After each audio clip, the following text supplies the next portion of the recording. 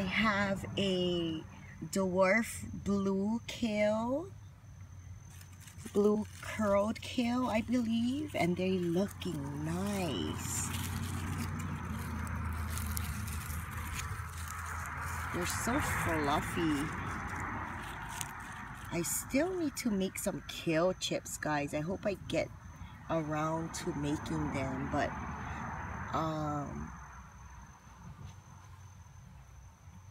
I have this plant here and then a few on the opposite side of my chicken coop but they're not looking too good. I had them there for a while.